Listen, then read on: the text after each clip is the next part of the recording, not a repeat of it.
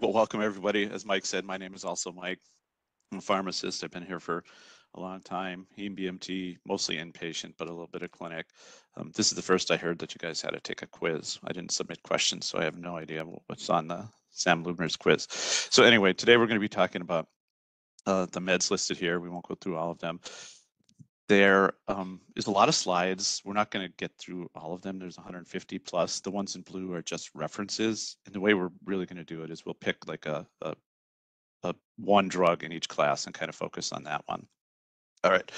So just to get people thinking, we'll answer this at the end. I know people who were here last year know the answer, but think about why is chemotherapy unique among medications? This is really targeted therapy or not non-targeted, but cytotoxic therapy. We're talking about why is it dosed in body surface area? You know, there's a lot of drugs that have uh, narrow therapeutic indexes. So just something to think about as we're going through the slides. All right, just starting at the very beginning here, we have the growth cycle. Um, we're not going to go into a lot of detail here, just to point out that uh, on the right, the cell cycles non-specific agents work in all phases of the cell cycle.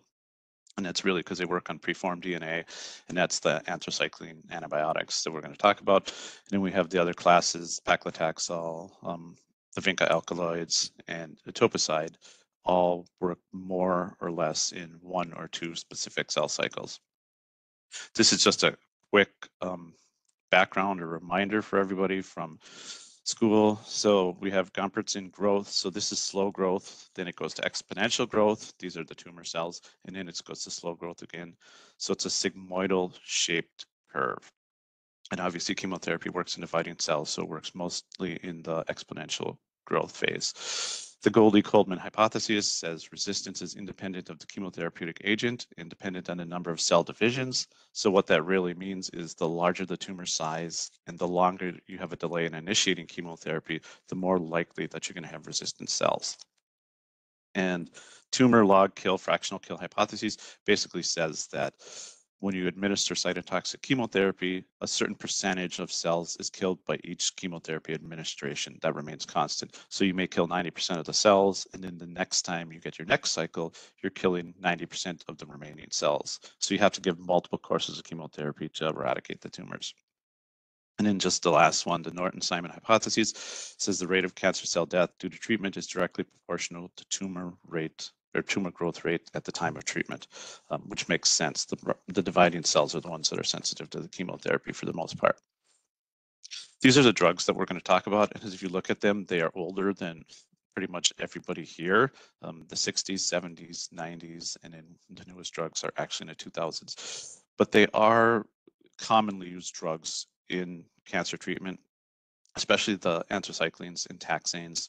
Um, the anthracyclines probably the, the most common one. They work in solid tumors. We also use those in malignancies. So the, the AMLs, the lymphomas, um, the taxanes are also widely used too. So jumping in, the anthracyclines, these are natural products isolated from microbial sources. They're deeply colored. Some agents were synthesized as stable dyes. One of the nicknames originally of doxorubicin was Red Death. So these are, for the most part, red colored drugs. Um, they're one of the most commonly used anti-cancer agents, and they have a, a, broad spectrum of activity, which I said is similar to alkylating agents and the taxanes. And these are the agents that we have. I'm not going to go through all these, just to point out that we have several liposomal forms of um, also of doxorubicin and daunorubicin, and we also have a combination product, which we'll talk a little bit about um, Vyxeos because it's kind of interesting. And finally, mitoxantrone is put in with this class of drugs, even though um, technically it's not an anthracycline. These are just the structures. We don't have a lot of structures, but I did put this just to illustrate that these are very similar in their structure. And like doxo and daunorubicin differ only by a, a hydroxyl group. Um, so even though they're structurally very similar, they have uh, somewhat different distinct patterns of clinical activity. So daunorubicin and idarubicin are used primarily in the acute leukemias, whereas doxorubicin and epirubicin have a little bit broader activity, and these are broader activity against um, solid tumors. And if we look at the bottom right, we have mitoxantrone, which you can tell it's structurally different, but it still has those three um, hexagonal um, rings, which gives it somewhat similar activity. So there's multiple mechanisms of action Um, they induce formation of covalent topoisomerase 2 DNA complexes, and this inhibition prevents religation of DNA, causing DNA strand breaks. The second one is intercalation between base pairs, um, which inhibits nucleotide replication and um, DNA RNA polymerase. And we have enzymatic reduction, which produces variety of highly reactive free radicals. So this adds to the cytotoxicity, but also the toxicity of these agents. And mitoxantrone has a decreased ability to form these um, free radicals, which probably is one of the reasons it has less cardiac toxicity. This is just a quick schematic for people who are visual learners. Uh, topoisomerase 2 actually makes um, two cuts, and these base pairs aren't um, right across from each other. They're like four base pairs, base pairs apart. And what topoisomerase 2 is, it, it basically cuts and it binds to this covalently. So it forms this stable complex that uh, your polymerases cannot get around. And these are among the most efficient inducers of apoptosis with maximum killing in the, the S and G2 phases. This is this, and the previous slide was actually the main mechanism of action. This is an interesting mechanism of action. If we look at it, if we remember those um, hexagonal type rings that we had just shown, you get this intercalation, which is the bottom right into this, the sugar backbone of the DNA, and it puts this torsional strain on this backbone, as you can see in the schematic, that it's not it's not shaped like it normally is. And this is where this interferes with um, binding for polymerases and transcriptions and DNA um, repair systems. So resistance occurs due to um, transport by the P-glycoprotein, um, the MDR, multiple drug resistant gene product, and MRP is multiple resistant protein. Um, phenotypically, um, functionally, these are very similar. Genetically, they're different. We can also have downregulation by mutations of topoisomerase 2 and um, increased neutralization factors and overexpression of anti-apoptotic molecules such as BCL2. Just a note, mitoxantrone is not transported by P-glycoprotein and resistance curves through topoisomerase 2 um, inhibition. This is just a, I think it's a Google screenshot, kind of interesting because we're pharmacists, so the lipid bilayer is actually made of pills. Um, it's, it's not in reality, we know that. But basically, you can get exposed to one drug such as a you get these pumps that are produced in the cell wall, and then you can get exposure to other drugs such as structurally not related drugs such as anthracyclines or taxanes, and they can be pumped out by this pump that was induced by a different chemotherapeutic agent, hence the name multi-drug resistance. These are the indications. I'm not going to go through all of these, just to say that there's lots of FDA indications, um, considering this is a, a, very old drug. And there's also non-FDA um, uses here. So quickly jump to a case. So we have HP is a 35-year-old male with um, stage four Hodgkin, Hodgkin's receiving ABVD. Um, drugs are listed here. He comes to the on clinic to receive his fifth cycle of ABVD and complains of tachycardia, shortness of breath, non-productive cough, and pulmonary exam reveals neck vein distension, pulmonary rales, and some ankle edema. He's currently only, this would be unique, only on amlodipine 5 milligrams. So anthracyclines, when you think about it, we should think about cardiac toxicity and is divided into three stages, or yeah, three different stages. So we have acute or subacute, and this occurs actually it can occur while the medication is infusing or very soon after. This is rare.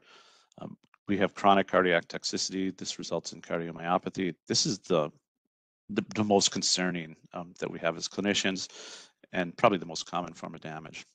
Characteristically, it occurs within a year of um, treatment. And we have late onset cardiac toxicity. This results in interventricular dysfunction and arrhythmias, which can occur um, years to decades after treatment. Just a little bit about each one. Uh, the acute toxicity occurs, like I said, it can actually occur during infusion, and it's electrophysiological abnormalities. Um, sinus tachycardia is probably the most common. People are not put on um, telemetry to be monitored. There are cases, especially early on, I'm not sure why we don't see them anymore, but there were rare cases of cardiac toxicity resulting in acute failure of the left ventricle, pericarditis. Um, like I said, which there have been a couple fatal cases reported. The mechanism of action of the um, the congestive heart failure, really it's based on the, the chemo and cardiomyocytes. And you can you can think of it, this is maybe an oversimplification, but there's type 2, which you get death through necrosis or apoptosis. clearly not reversible, or you have type 2 cardiomyocyte dysfunction, whereas you can get certain amounts of chemotherapy. It can cause this dysfunction, but it may be reversible and it doesn't result in uh, the death of the cardiomyocytes. And just a quick mechanism is the main mechanism is inhibition of topoisomerase 2 beta. They have an alpha and a beta. This is active in quiescent non-proliferating cells, including cardiomyocytes. And basically, um, this they bind to this and it results in the um, mitochondrial damage and um, the death of these cells. So the chronic cardiac toxicity, um, like I said, it occurs within a year. The exact mechanism is, they say it's unknown, but it's really, we think um, due to um, topo 2 damage to the myocardium. And it's related to peak concentrations, which means shorter infusions generally when you take a drug in a syringe and give it, you can get higher concentrations than a continuous infusion.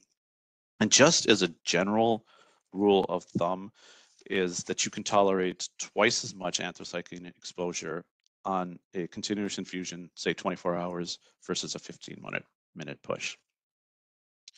I think this is an interesting chart. It's um, somewhat old, but it's doxorubicin and it's patients who were, uh, uh, I can't remember what the patient population was, but there's like 4,000 patients. So there's a lot of um, patients, 88 cases of congestive heart failure.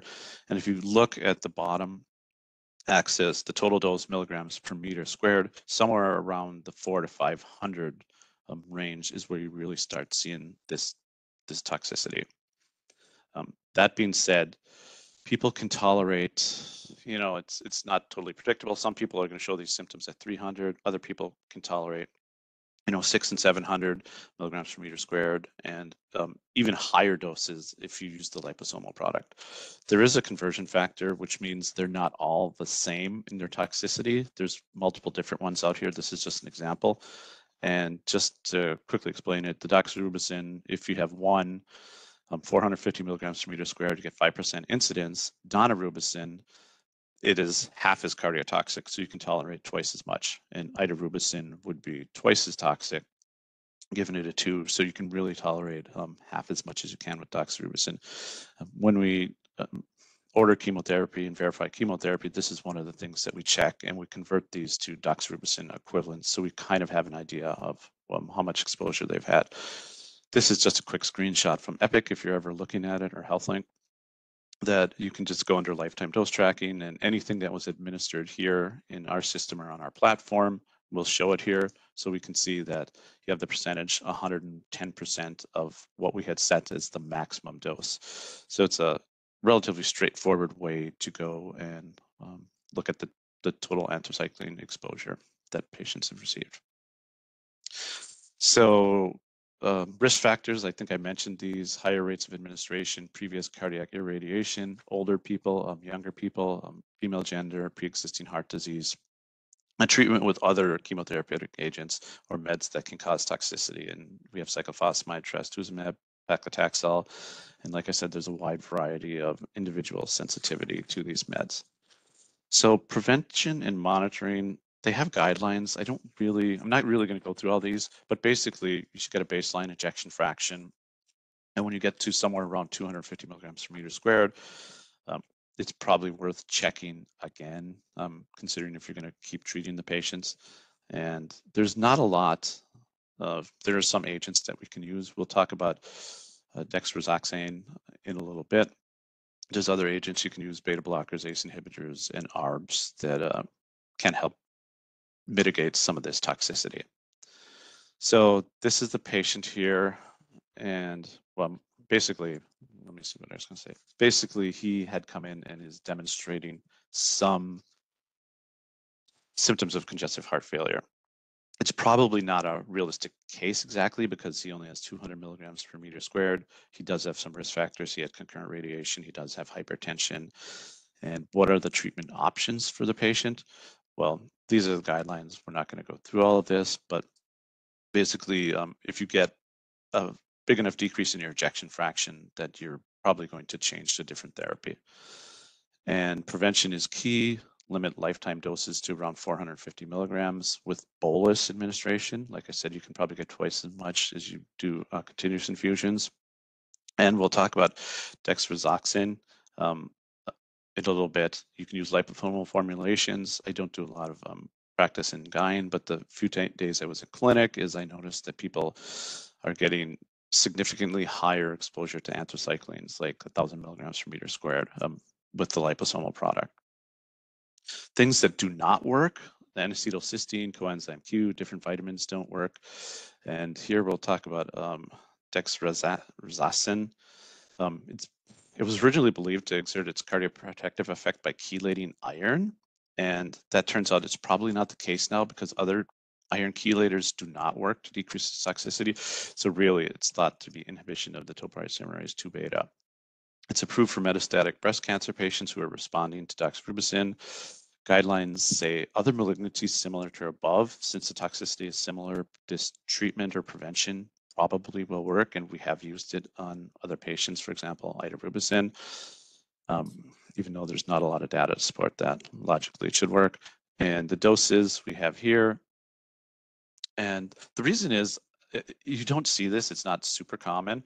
Um, there is myelosuppressions potentiated by the drug, and then there's concerns about interference with the anti-tumor efficacy of anthracyclines. Lower response rates, faster tumor compression was seen in one study, um, I believe with early breast cancer. Most of the information doesn't support this. And then it's unknown whether it's effective for late um, onset cardiac effects. I have noticed that it seems to be um, more common in children used um, prophylactically than in adults. It's not not very common in adults.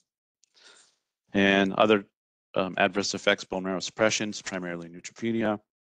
These are vesicants, um, nausea and vomiting, so it's highly emetic. So you really use a three or four drug regimen, pre-med the patient, mucositis and diarrhea, and alopecia is um, pretty much universal. So uh, extravasation, since that does happen, uh, we have good guidelines. You stop the injection, you aspirate, you apply ice. Um, you can consider treatment with hydrocortisone and hydrocortisone cream. Probably should get a plastics consult if they extravasate, especially peripherally. Uh, I think this is just interesting because there was a lawsuit here. We got two different drugs, two different brands. The one on the left is the one you use to prevent cardiac toxicity. It's the exact same drug that you use if you treat extravasation. And the um, manufacturer of the extravasation one was threatening to sue the other one because it was cheaper and people were substituting their product. But if you actually look at the structures, they're the identical drug. Um, just quickly, this is a 53 year old female with breast cancer. She um, was treated with um, AC followed by tamoxifen.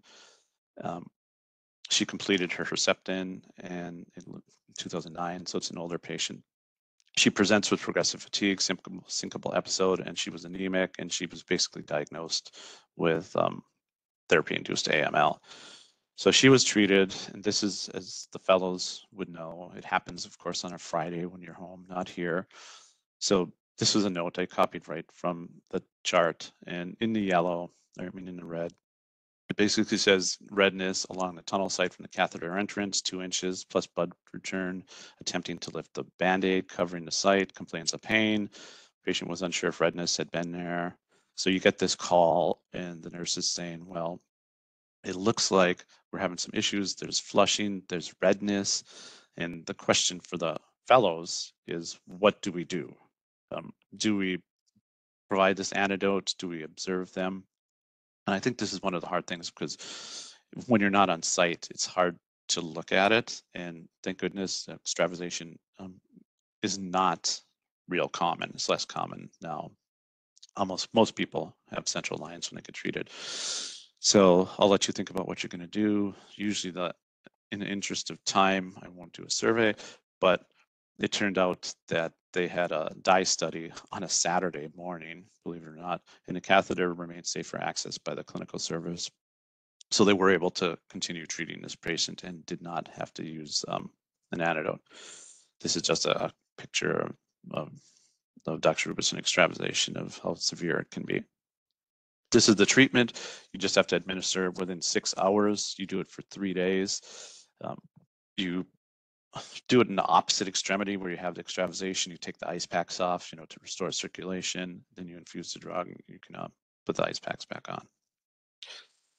Um, other things that you can see with anthracyclines are facial flushing, histamine release, which can cause this doxorubicin flare, which um, you have to, you know, it's kind of confusing trying to maybe identify that versus extravasation.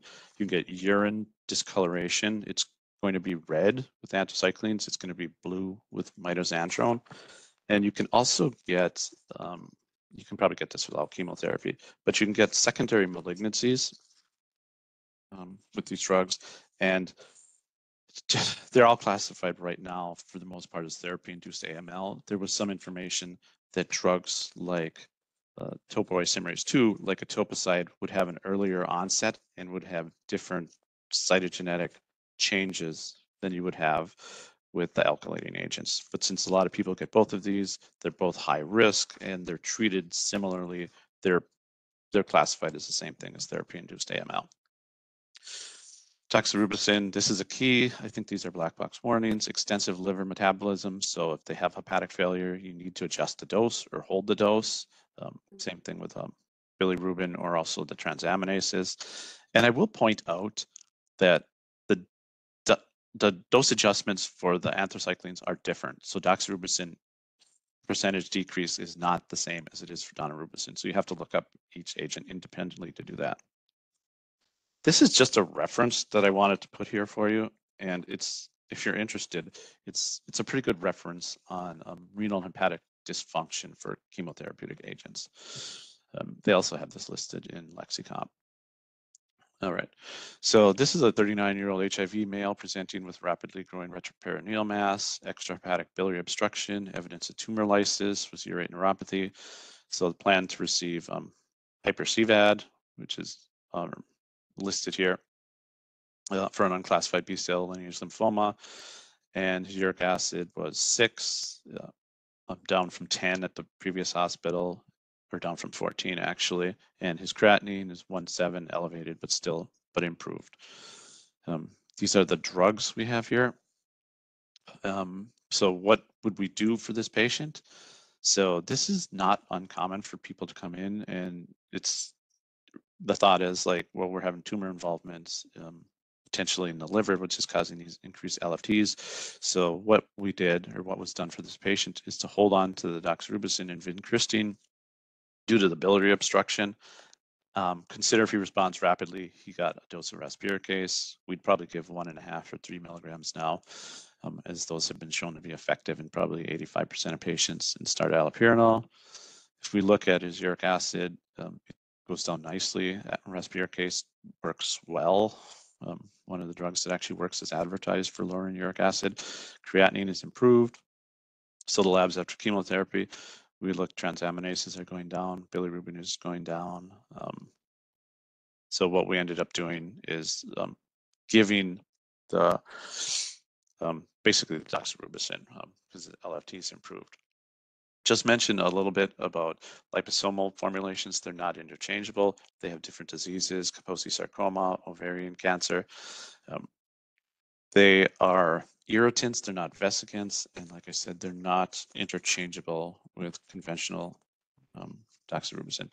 You can also, I don't have an exact number, but you can tolerate um, a higher we don't have an equivalent of how this compares to other anthracyclines, other than saying that we know that you can tolerate higher doses um, with decreased cardiac effects for the liposomal products. Um, toxicity profile is different, and you can get these palmar-plantar erythrodysesthesias where you may have to have dose adjustments, and stomatitis can be uh, dose-limiting toxicity. Again, they're also produced antibiotic class drugs, so you can get anaphylactoid like reactions. And we'll go on to this. I think this is an interesting is Vyxeos.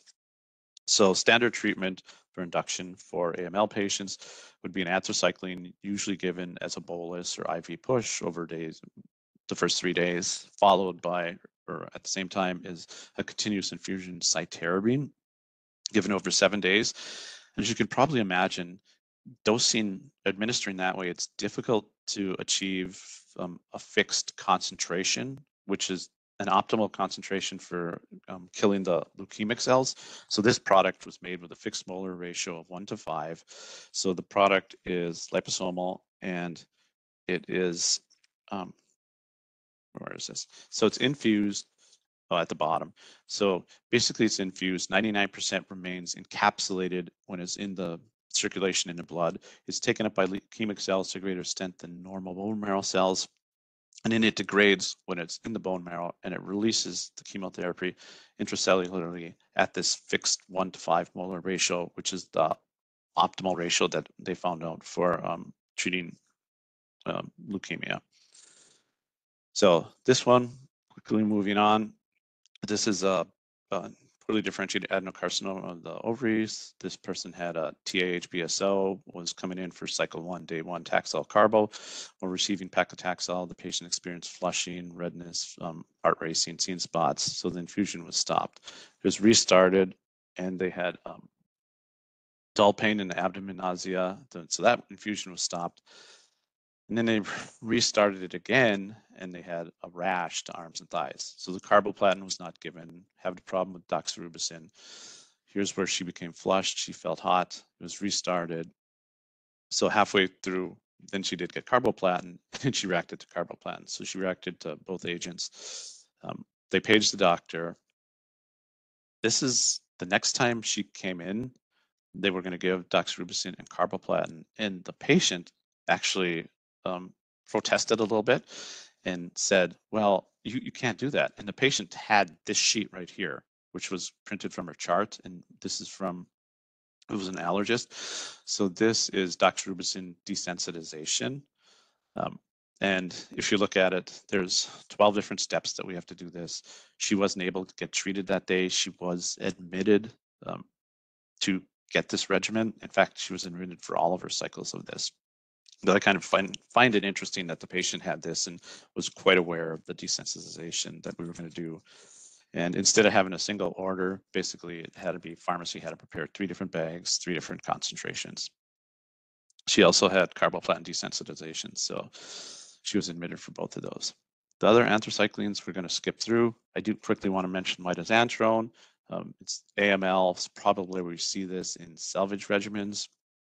And what's interesting, uh, here's a picture of it, is this is blue. So instead of the red discoloration that you see with the other anthracyclines, you have blue and you can be turning your urine blue. All right, I'm in the interest of time, I'm not gonna go through all the details here, except to mention that it has this unique side effect, which I hadn't seen for years. And all of a sudden in the last couple years, we've had three different patients who were treated with um, a salvage regimen and the mitoxantrone can cause this bradycardia into the low 40s. And in each case, the patient, after the five days of mitoxantrone, I think it was five days, then the counts are actually three days, but it was like day five, six, and seven, the um, heart rate returned to normal. We won't go into the interactions. We will go on to etoposide. I always have a difficult time pronouncing this. Um, just like the others, it's from a, a plant, in this case, the mayapple, mandrake plants. Uh, it's been used for treatment for a long time. It's a second generation semi-synthetic and it's non-intercalating. So basically it's a pure topoisomerase 2 inhibitor. Um, it has FDA indications used for testicular cancer. It also has activity in treatment of malignancies such as AML. And What's one of the things that's unique about etoposide is it does have oral absorption. So this can be given in a form of um, basically the capsules. So you could either treat, for example, regimens three days IV, or you could do one day IV in clinic and send the patient home on an oral dose. Um, it's highly protein bound. So just to note the low albumin levels result in increased unbound portion. So you may get a little bit more toxicity if you have low albumin.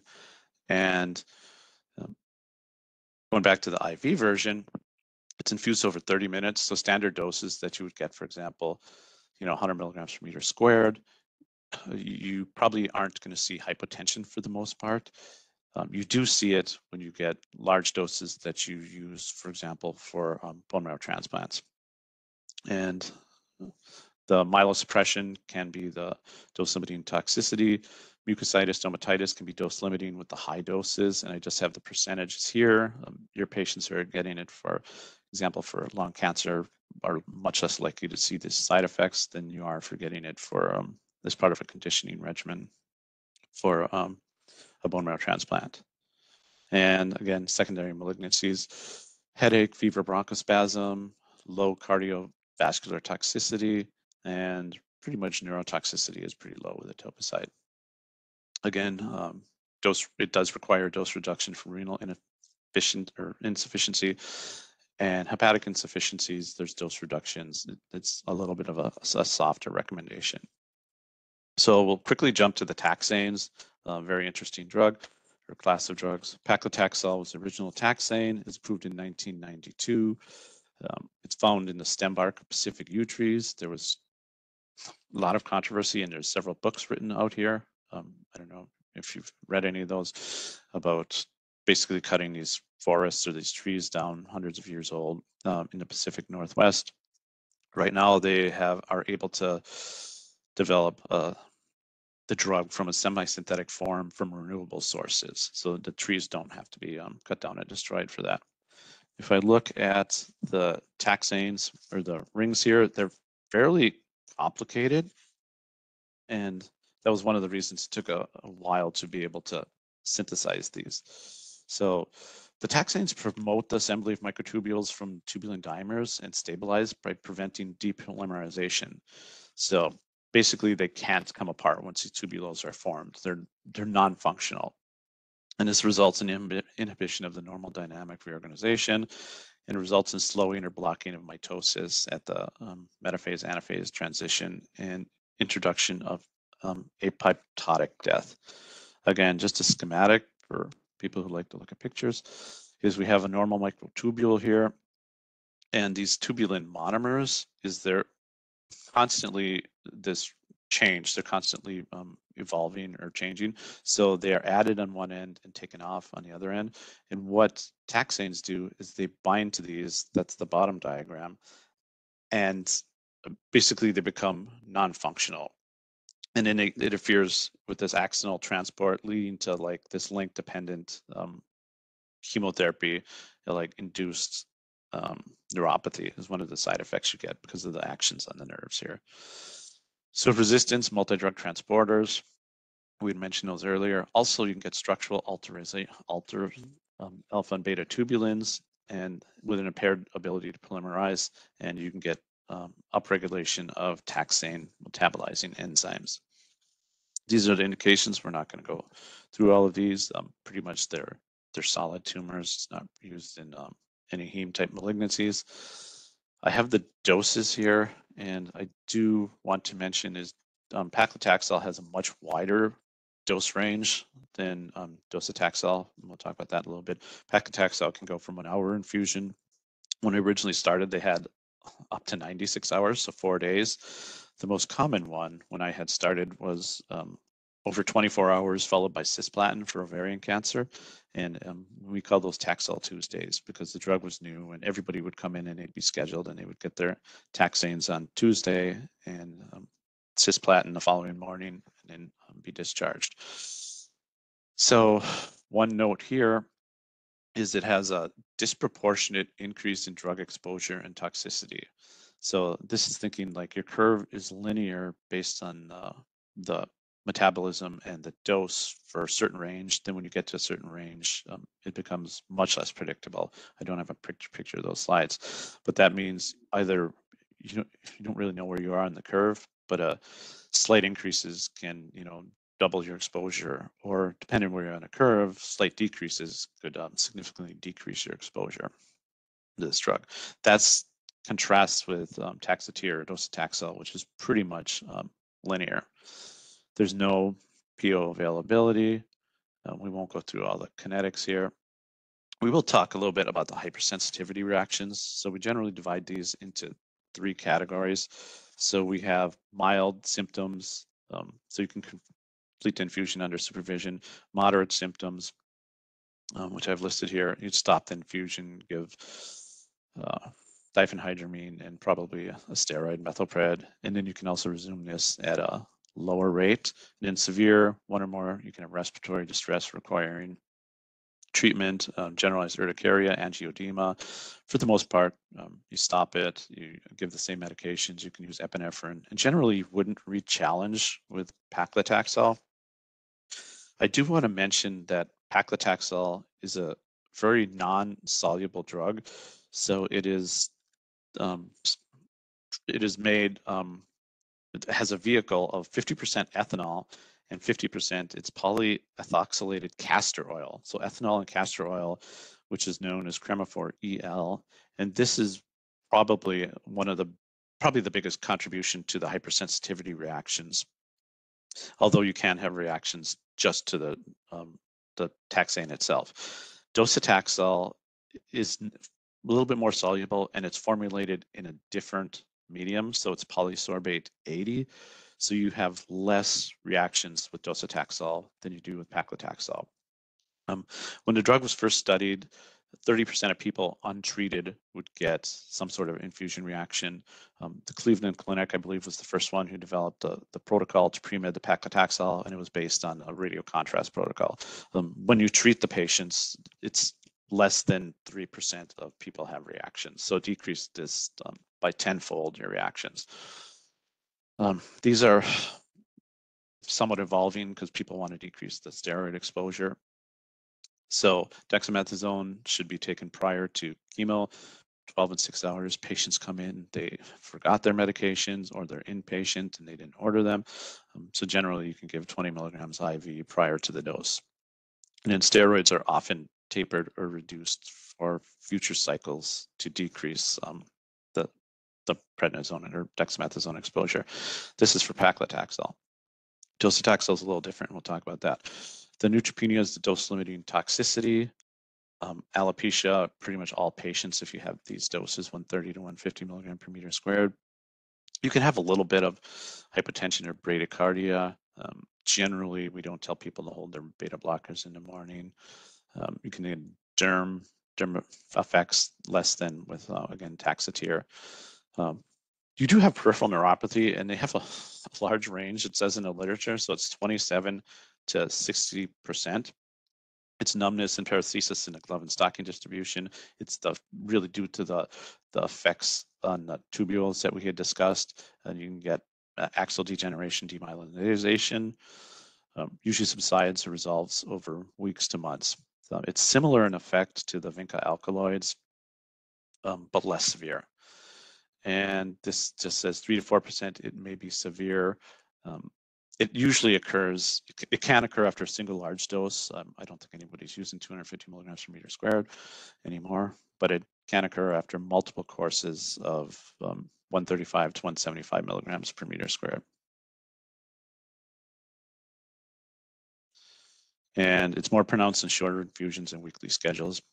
It's increased with other drugs that cause um, peripheral neuropathies, so you can cisplatin and the um, vinca alkaloids. We'll skip this one. Uh, alopecia, again, it's pretty much universal. And then you do get transient elevations or can with um, um, with the drug. Myalgias and arthralgias. So 24 to 48 hours, you get flu-like symptoms. Um, generally, it's going to be self-limiting at the doses we have here. There's a weak association with cumulative dose, and there, nothing's been really found to to prevent this. Um, but people do treat it or try to use drugs like nonsteroidals or opioids or prednisone. And it's not really dependent on infusion time, you know, one hour versus three hours would be the common one. Black box warnings. So we're moving on to docetaxel. So treatment related mortality increase with abnormal liver functions. So basically you have to um, decrease the dose. Otherwise you're going to increase the mortality here. You can also have the severe hypersensitivity reactions and severe fluid retention occurs with docetaxel and not with um, paclitaxel. And that's really one of the main reasons that you're also to decrease you know, the incidence of fusion reactions, but really to this um, fluid retention is one of the reasons that you give dexamethasone. And you give this, you know, eight milligrams the day prior to day of and day after therapy. Um, this fluid retention is poorly tolerated. It's a peripheral edema, generalized edema. You can get pleural effusions, dyspnea at rest, cardiac tamponade. Incidence and severity increase at cumulative doses over 400 milligrams per meter squared. And it resolves slowly at discontinuation. And I don't have the number here, but I think well, actually it is. It's listed as a median of 16 weeks. So basically it takes a long time, it can take four months for this to totally resolve. All right. Neurological toxicities, it's less than paclitaxel. Um, uh, asthenia is common, 60 to 70%. And neutropenia is dose limiting toxicity. And you get um, you can get significant nail disorders, hypo hyperpigmentation. Um, you can get localized erythema and edema, and you can get 80 um, alopecia, not quite as high as you can with paclitaxel. And we won't go through all the doses, just to say is if your bili is greater than upper limit of normal, you shouldn't administer this. And we won't go through all the drug interactions. Um, cabazitaxel has different indications, hormone refractory metastatic prostate cancer. This is probably used a lot less than the first two taxanes. And I did just want to point out it's still does require these pre-medications. It is formulated, I believe, in polysorbate 80, so infusion reactions are less likely than it is with the other taxanes. Also, this has, I'm not sure it panned out the way they originally thought it was, but it does have a poor affinity for like P glycoprotein, the pump, the MDR pumps. So the thought was that this would have some activity in patients who have um, taxane resistance due to this P glycoprotein pump. And it does have some activity in those patient populations. Um, and oh, this I wanted to bring up this effect. Might be the patient population, prostate cancer um, patients, but uh, hematuria, including those requiring medical intervention, were more common in cabazitaxel. Um, the incidence of grade two was 6% um, versus more prostate cancer patients versus mitoxantrone, um, which seems a, a, little bit on the high side. All right. Uh, adverse effects, primary prophylaxis with G-CSF, growth factors should be considered in patients with high-risk clinical features.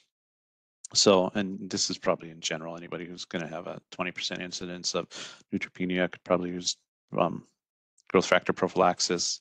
And then you can also consider these other factors, um, older age, um, performance status, previous episodes of neutropenia, um, radiation, nutrition status, all things that are going to predispose them to increased complications from prolonged neutropenia. And quickly, we'll mention paclitaxel protein bound particles. So these are nanoparticles. It's bound to albumin. They're approved for treatment of breast cancer after failure of combination chemotherapy. Um, it does have a little different uh, side effect profile. It doesn't require um, pre-medications to prevent hypersensitivity reactions. You don't have to use the special tubing for this one. And in summary, uh, the particles formulation has notable advantage over conventional. So it's got lower toxicity, meaning severe neutropenia, shorter infusion time. I guess they're very similar now that we're doing one hours. And, but maybe, maybe um, increased um, efficacy. And I think part of this is doing is that it's like encapsulated in albumin and um, these tumor cells actually have receptors that can pick up the albumin. So you may get higher concentrations. So this is probably the last class of drugs we'll get to. Um, so the vinca alkaloids are naturally occurring semi-synthetic compounds found in minute quantities in the periwinkle plant. I have these listed here. So if you look they're fairly old drugs. Um, 1963 was first approved. Vincristine is more common in pediatric oncology, and in general, these are better tolerated in a pediatric population, which I guess is the case for a lot of cytotoxic chemotherapy. Um, vinblastine is used in integral component for germ cell malignancies, um, lymphomas, and other agents um, for diseases that I have listed here. This is just a picture, um, periwinkle. Uh, it used to be called Vinca periwinkle, but they changed the name and it's from Madagascar. Structurally, they're very similar if we look at these, um, but they do have different toxicity profiles or dose linear toxicities. So they're cell cycle specific. They rapidly and reversibly bind to sites on beta tubulin different than the taxanes. Um, they even named it um, the Vinca domain, so it's easy to remember. It induces a conformational change to the tubulin, increasing its affinity for itself, leading to these paracrystalline aggregates. I have a schematic or picture on the next page. It decreases the pool of free tubulin dimers available. So it, it is um, this microtubule poison, it works that way, but it works different than the taxanes do. So it results in a shift of the equilibrium toward disassembly and microtubule shrinkage. And again, this causes cell division um, or cell division arrest in metaphase. And if we look at the picture here, in the middle you have, or you have the microtubule on the left, then you have these these tubulin dimers. So what happens is the the vincristine or the other vincas, they bind to these dimers and then they stick together and basically take them out of circulation. So you don't have these tubulin dimers that you have necessary to polymerize the microtubules. So then it shifts the, the equilibrium toward uh, depolymerization. So as far as resistance, again, the MDR pump, which we showed very early on, you can also have structural and functional alterations of the alpha beta tubulins or alpha and beta tubulins um, from genetic mutations, or really you can have post um, exposure modifications. And they do share some resistance within each other. Um, I'd be remiss if I didn't mention that it's fatal if given intrathecally. I would say this is probably in the past has been the drug would cause the most fatalities due to due to errors. And um, you, it's this characterized severe microencephalopathy or myeloencephalopathy, ascending motor and sensory neuropathies, and rapid death, um, the recommendation is, and we do this, and I think everybody else does, is to put this in a bag so that you're not going to accidentally give it intrathecally. That being said, that wasn't always the case, and I actually remember we there was a patient who did get um, intrathecal vincristine here at UW Health. Um, the dose was I can't remember if it's one or two milligrams per mil, but they got like a tenth of a mil. So the patient actually, before it was noticed that it was the wrong drug, and they did end up going down to TLC and you know they have different treatment strategies that they can use. So even with a tenth of the dose administered, the patient still um, basically had paralysis and uh, did not end up walking uh, out of the hospital. So they are vesicants. Uh, vinorelbine is a little less. You can use hyaluronidase, um, the extravasation guidelines. Um, be, it's probably good to look at those, you know, before you start writing orders. Um, but they are really good on UConnect. They have two separate ones. They have one for chemotherapy and one for non-chemotherapy. The real key for the vinca alkaloids is this is probably the only drug or class of drugs that you apply warm compresses um, instead of ice when you have extravasation. And this is really to um, increase the disbursement of the drug and the breakdown of it, so you have less concentrations. Despite similar structures, toxicity profiles are kind of different. The neurotoxicity, they're similar, but they're less with vinorelbine and uh, vinblastine, meaning the most common with vincristine. So neurotoxicity is the most common toxicity for vincristine. It appears after five to eight milligrams and can be found after 15 to 20 milligrams. And this one, I know it's not cutting edge literature. It's Blood, 1963, but I, I think it's interesting because this is one of the publications from Paul Carbone is the leading author. Obviously, our cancer center is named after him. So just to give you a quick overview on this, is 40 patients who had malignancies that wasn't controlled by surgery or radiation they were treated to the point of toxicity. Um, so they get these paresthesias without pain, occurred in most patients. Depression of deep tendon reflexes occurred in all the patients. Um, it was reversible within, or the paresthesis was reversible within several weeks with most, but persisted up to six months after therapy was um, stopped. And their analysis of this was the relationship of toxicity to the individual weekly dose is presented in this graph. And they concluded that the tolerated dose is 0.05 milligrams per kilogram, which is the right arrow for the majority of patients. So I find that kind of interesting because if you calculate that out, 0.05 milligrams per kilogram for an 80 kilogram person is going to be um, four milligrams. So that's something that we would never give now. I mean, we think we're pushing a dose when we give two milligrams, which is uh, listed here.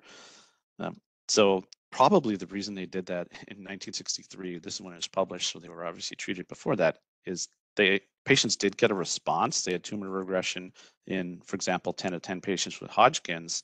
Um, there was really not not not a lot of other drug options to use at that time.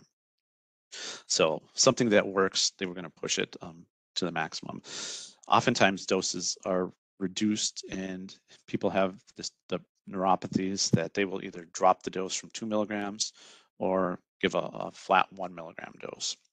So this is, I would say this is probably one of the most common meds that uh, we do um, that is reduced. So just a little quick, the toxicity is peripheral symmetric, um, it's mixed sensory numbness and tingling, loss of deep tendon reflexes is early, motor weakness. Sensory changes do not usually warrant an immediate reduction in a drug, whereas the flip side is loss of motor function results usually results in a discontinuation of the drug. There's no treatment to reduce or prevent this. Um, it can progress, it can progress even weeks after the discontinuation of the drug. I have some risk factors. Um, we kind of saw the cumulative dose, pre-existing neurological conditions, alcoholic or diabetic associated neuropathies, um, elderly people, um, so children tolerate this better, um, poor nutritional performance status in combination with other drugs that either have interactions or additive toxicity. Um, the one thing, this is a busy slide, is to, actually we won't go through this one, but I will mention that um, people should be on a bowel regimen because this is going to cause constipation um, for patients. So all of the regimens that have vinca alkaloids built in them, the treatment plans have um, should have bowel regimens built in them. Oh, this is what I was talking about here. All right. So since we're running out of time, um, I will say renal insufficiency, renal insufficiency, there's no dose adjustment. And um, bilirubin is going to need a dose adjustment. So I'm just going to go to the very last question. We'll skip these just for your reference. And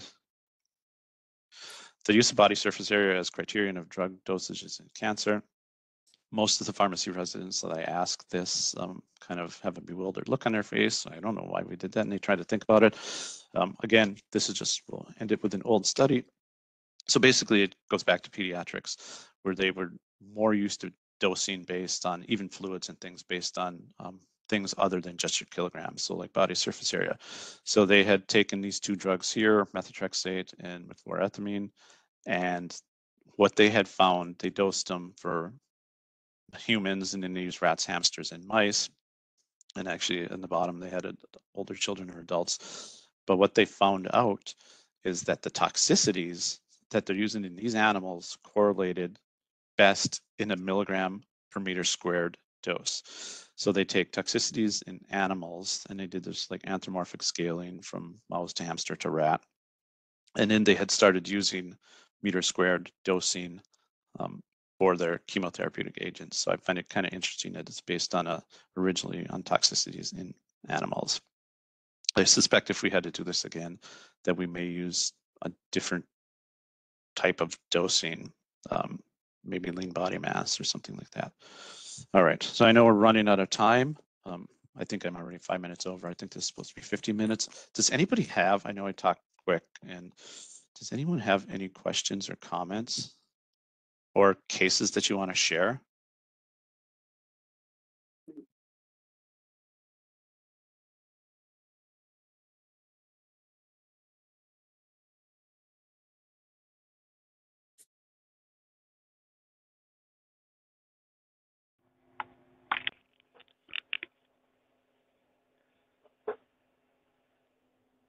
All right. If Yeah. go ahead, Mike. Oh, thanks, Mike. And I'll, I'll make sure to share the slides after the talk today for everyone. Mike, I had a quick question. Sure. Um, when you were talking about the inpatient desensitization protocol for anthracyclines, um, Who do we do that on? Is it anyone that has a hypersensitivity reaction? Or is So there we haven't done it a lot. I think it's, it depends if it was a severe hypersensitivity. It, I guess it depends what the reaction is. Yeah, you know, you could do different pre-meds if they're getting a, a bolus, the pre-meds are gonna last. Um, I think it's somebody who doesn't really have an alternative or, or this is like by far the best treatment strategy that you want to use is the anthracyclines. And they had somewhat of a moderate reaction to do that. And then, because you know they're going to get seven more cycles or whatever they need. Um, I don't think you'd have to do that if it's just a, a, a minor reaction. And then probably if it's like a severe hypersensitivity reaction, you really would want consideration of maybe not doing it. So there's there's not a really good answer. Um, sorry. That's okay, thanks. I Yeah. just had never heard of it before, but I haven't um, dealt with it a lot. Yeah, the this particular patient, uh, they wanted to do it because they had reactions to, you know, the taxanes, the carboplatin, and the doxorubicin. So three of the main drugs you're using for ovarian cancer. So this- they were kind of running out of your, you know, first, second um, choices. From the few patients I've seen, uh, generally they're heavily exposed to chemo um, as well. So I don't know if that adds a risk or not. Carboplatin, it, it definitely does, right? The more doses of carboplatin you get, the you don't react on doses one and two. I'm not sure about anthracyclines, um, but that very well could be. But yeah, we haven't seen it on a lot. Carboplatin is more common to desensitize than um, like doxorubicin. And we have a protocol for that also. Any other questions, comments?